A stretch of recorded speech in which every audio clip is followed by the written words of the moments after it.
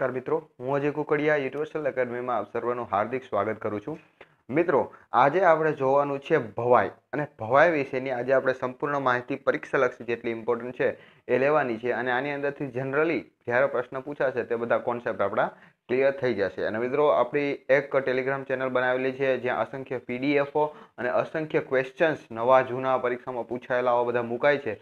એ આપને પરીક્ષામાં બહુ જ ઉપયોગી બનશે. તો એની લિંક છે, એ ડિસ્ક્રિપ્શનમાં આપેલી છે. ત્યાંથી તમે જોડાઈ જજો મિત્રો. એમાં તમારા માટે ખૂબ ફાયદો રહેશે. તો આપણે ભવાઈની વાત કરીએ, તો ભવાઈ છે, એ મુખ્યત્વે ગુજરાતની અંદર પ્રચલિત થયેલું જોવા મળે છે. પણ ગુજરાતની સાથે સાથે રાજસ્થાનમાં પણ એની અસર જોવા મળે છે. એટલે રાજસ્થાનમાં પણ થોડા અંશે પ્રચલિત છે, પણ ગુજરાતમાં વધુ પ્રચલિત છે. હવે આ ભવાઈ પાછળનો ઇતિહાસની મિત્રો વાત કરીએ તો કે ભાઈ જ્યારે અલાઉદ્દીન ખિલજીના સુબા. આપણે ગુજરાતનો છેલ્લો રાજપૂત યુગ, એટલે જેને આપણે કર્ણદેવ વાઘેલાના સમયમાં, વાઘેલા વંશ દરમિયાન જ્યારે પાટણ પર અલાઉદ્દીન ખલજીના સુબા છે, એ આક્રમણ કરે છે. અને આક્રમણ કરવાના એ લોકો આક્રમણ કરે, ત્યારે એ લોકો શું કરતા કે ગામની અંદર બહેનો હોય, બરોબર, એની શિયલ લૂંટતા શિયળ એટલે કે આબરૂ લૂંટતા હતા. બરોબર? તો બને છે એવું કે ઈસાઈ ઠાકરના ઘરે બાજુનું ગામ ઊંઝા હોય છે, એના હેમા પટેલની દીકરી ગંગા હોય છે, એ ઈસાઈ ઠાકરના ઘરે આવેલી હોય છે. હવે બને છે એવું કે આ લોકો આક્રમણ કરી દે છે ઉલુગ ખાન અને અસદ ખાન. પણ ઈશાદ ઠાકરને એવું થાય છે કે જો આ મારા ઘરે આવેલા છે અને જો એને કંઈ થાય તો એને બચાવવાની જવાબદારી મારી છે કારણ કે અત્યારે મારા ઘરે છે. એટલે આ અલાઉદ્દીન ખલજીના જે સુબા આવેલા હોય છે એને ખુશ કરવા માટે સંગીતની બંદગી કરે છે, બરાબર? અને સંગીત ગાય છે અને નૃત્ય કરે છે. એ જોઈ અને જે બે સુબા હોય છે મિત્રો એ ખુશ થઈ જાય છે. અને ઈશાદ ઠાકરને એમ કહે છે કે માગ ઈશાદ માગ તારે શું જોઈએ છે તું માગી તને આપી. એટલે ઈશાદ ઠાકર છે, બરોબર, એ એમ કહે છે કે જો તમે ખરેખર ખુશ થયા હોય ને, તો તમે મારી દીકરીની લાજ ન લૂંટતા. શું કહે છે? કે જો તમે ખરેખર ખુશ થઈ ગયા હોય મારા આ સંગીતની બંદગીથી, તો મારી દીકરીની લાજ ન લૂંટતા. બરોબર, ખરેખર તો એની દીકરી નહોતી. તો ગામમાં ચાર પાંચ ચોરા કરવાવાળા તો હોય જ તે. તો ચાર પાંચ જણા કહે કે ઈશાદ તારે ક્યાં દીકરી છે કે? તારે તો એ કે ત્રણ દીકરા જ છે. પછી ઈશાદ ઠાકરે કીધું કે, ના ના, મારે ત્રણ દીકરા અને એક દીકરી છે અને મારી દીકરી છે એ મારા ઘરે જ છે. તો ઈશાદ ઠાકરને એમ કહેવામાં આવ્યું, તો કે જો તારે દીકરી હોય, તો તારે એ દીકરી સાથે એક થાળીમાં તારે જમવાનું છે. બરોબર? તો પછી ઈશાદ ઠાકર પાસે તો કોઈ વિકલ્પ નહોતો, કારણ કે એ ગંગાની રક્ષા કરવી ઈશાદ ઠાકરની જવાબદારી હતી. એટલે ઈશાદ ઠાકર છે બ્રાહ્મણ હોવાથી તે એક પટેલની દીકરી સાથે એક ભાણે જમે છે અને ત્યારે એવો નિયમ હતો કે જો પટેલ બ્રાહ્મણ સાથે જે પટેલની થાળીમાં જો કોઈ જમે બ્રાહ્મણ, બરોબર? તો એને નાતવારો મૂકવામાં આવે. અને મિત્રો, બને છે એવું કે આ પટેલની દીકરી સાથે એક ભાણે જમ્યા બાદ ખરેખર તો એને એ સાબિત કરવાનું હતું કે તમે એક જ નાતના છો અને તમારી દીકરી જ છે. પણ જે નાતભાતના જે રિવાજોમાં માનતા હતા એ લોકોએ જોયું અને આ ઈસાઈ ઠાકર છે, બરોબર? એને નાત બારા મૂકવામાં આવે છે અને ઈશાદ ઠાકર નાથ બારામ મૂક્યા પછી, બરોબર, સિદ્ધપુર છોડી દે છે અને ઊંઝામાં રહેવા આવી જાય છે. ઊંઝાના હેમા પટેલ જે હોય છે, એ સિદ્ધ જે, આ આપણા જે ઈશાદ ઠાકર છે એને એમ કહે છે કે ભાઈ તમે ઈશાદ જરાય મૂંઝાતા નહીં, અમે તમને દર વર્ષે તમારું ખાવા માટેનું અનાજ દે, જે કાંઈ પણ જોઈએ, એ અમે તમને આપી જશે. કારણ કે એમની જ દીકરીની લાજ બચાવી હતી ને. પણ ઈશાદ ઠાકર પણ સ્વાભિમાની હતા, એને કીધું કે નહીં, મફતનું શું એમ નામ લેવું? તો એને શું કર્યું? તો કે ત્રણ દીકરાની મદદથી એક વેશ શરૂ કર્યા. અને આ ત્રણ દીકરાની મદદથી શરૂ કર્યા, ત્રણ ઘરવાળાની મદદથી, એટલે એને નામ આપવામાં આવ્યું તરઘારા. યાદ રાખવા જેવું તરઘારા કયો કે ભવાયા કયો બે? એક જ છે, બરોબર? અને પછી ભવાઈ નામ ઉતરી આવ્યું છે, તો આટલું પૂછાઈ શકે એવું છે. હવે અન્ય યાદ રાખવાનું છે, આ સાઈડ ઠાકર છે એને ભવાઈના પિતા કહેવામાં આવે છે, આ ફ્લેક્ચ્યુઅલ પ્રશ્નો પૂછાયેલા છે અને આગળ પણ પૂછાઈ શકે છે. સૌથી જૂનો વેશ, તો કે રામાપીરનો વેશ બે હજાર ચૌદની તલાટીમાં પૂછાણો તો પ્રશ્ન. પછી અસાયતની એક પ્રખ્યાત કૃતિ છે, આ બહુ પૂછાવાના ચાન્સીસ છે. હવે આવનાર પરીક્ષામાં તો એ કૃતિનું નામ છે હંસાવલી. બરોબર? તો આ ત્રણ ફ્લેક્ચ્યુઅલ પ્રશ્નો છે જે પરીક્ષામાં પૂછાવાના ઘણા બધા ચાન્સીસ રહેલા છે. એ ઉપરાંત અહીં એક ગંગા નામ છે, એને પણ આપણે યાદ રાખવાનું છે. પછી એ ઉપરાંત ઈસાદ છે, પેલા ક્યાં રહેતા હતા? તો કે ભાઈ પેલા સિદ્ધપુર રહેતા હતા. અને પછી એને નાતબાર મૂક્યા, પછી ક્યાં રહેવા આવ્યા? તો કે પછી ઊંઝા રહેવા આવ્યા હતા, આ પણ યાદ રાખવાનું છે. પછી કોના આક્રમણ વખતે તો કે ભાઈ અલાઉદ્દીન ખલજીના સુબાના આક્રમણ વખતે આ બધી ઘટના બની હતી. તો આ બાબત છે, એ આપણે પરીક્ષાલક્ષી યાદ રાખવાની રહેશે. હવે એના વિશેની વિવિધ ફેક્ટો હોય એ જોઈએ. આમાં ભવાઈ વિશેના જાણવા જેવી કેટલીક ફેક્ટ બેઝ ક્વેશ્ચન છે જે વારંવાર પૂછાવાની શક્યતાઓ રહેલી છે. તો કે ભાઈ અસાયતના વંશજો કયા નામે ઓળખાયા તો આપણે બધાને ખબર છે, એને આપણે તરગારા એવું નામ આપ્યું હતું. ત્રણ ઘરવાળા ઉપરથી બનાવ્યું હતું તરગારા.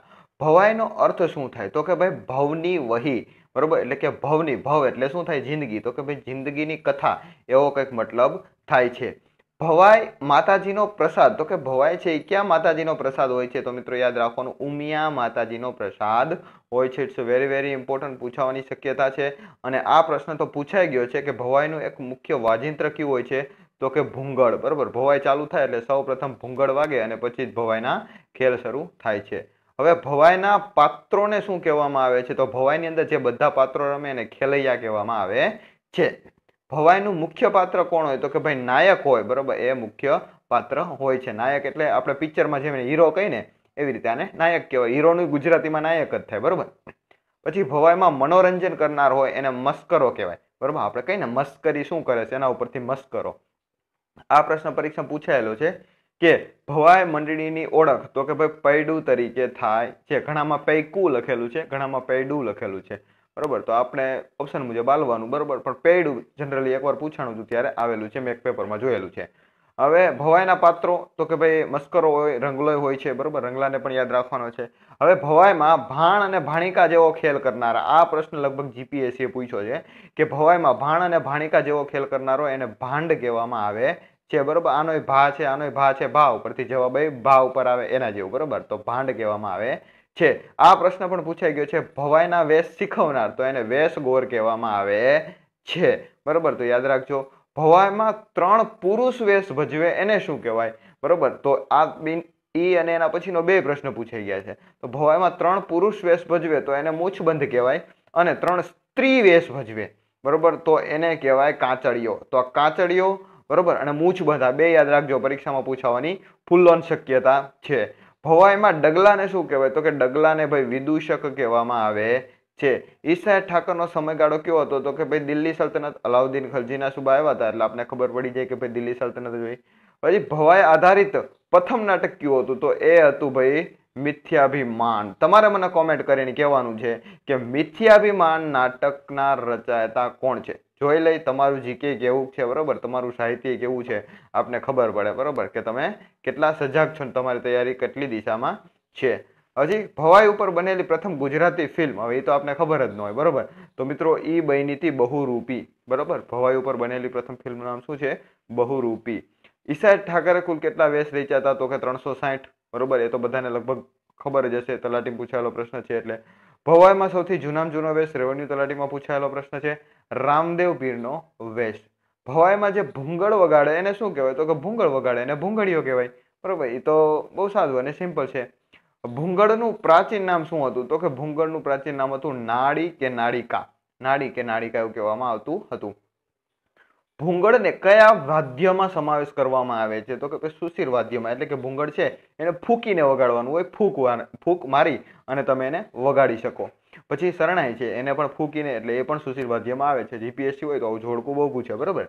ભવાઈ કરનારા ભૂંગળને પૂજે. તો કે ભાઈ, દેવી વાદ્ય તરીકે ભવાઈ કરનારા છે, બરાબર? એવું માને છે કે આ દેવીનું વાદ્ય છે, એટલે એને પવિત્ર ગણી અને એની પૂજા કરવામાં આવે છે. હાલમાં તાંબા પિત્તળની ભૂંગળ ક્યાં બનાવવામાં આવે છે? તો મિત્રો એ વિસનગર અને અમદાવાદ ખાતે આ તાંબા પિત્તળની ભૂંગળો છે એ બનાવવામાં આવે છે. પહેલા ભૂંગળ શેના બનતા હતા? It's a very very important બરોબર? તો આપણે જવાબમાં લખવાનું છે શિંગડામાંથી. અને આપણે એમાં એવું બને કે ઓપ્શનમાં માટી આપ્યું હોય તો આપણે એમ થાય કે ભાઈ પહેલાં તો માટીના વાસણોમાંથી જ બનતા હતા ને.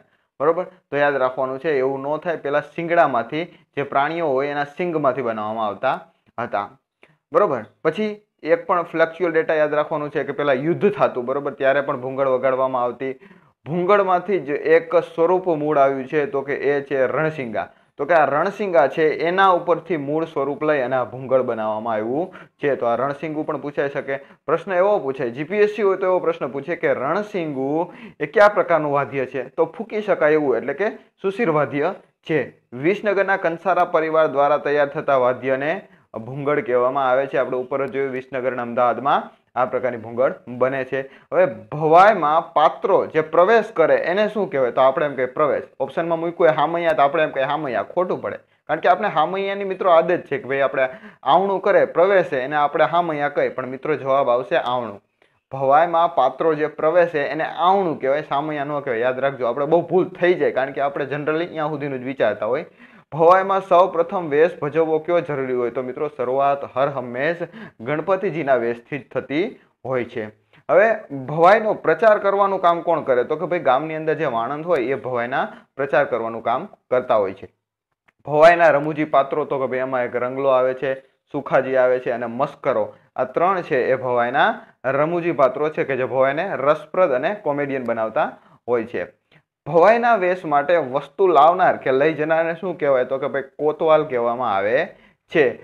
ભવાઈમાં થતો નાચ એને શું કહેવામાં આવે? તો કે ભાઈ એને કેરબો કહેવામાં આવે છે. ભવાઈમાં થતો નાચ જે ડિસ્કો કરે બધા, બરાબર? એને કેરબો કહેવામાં આવે.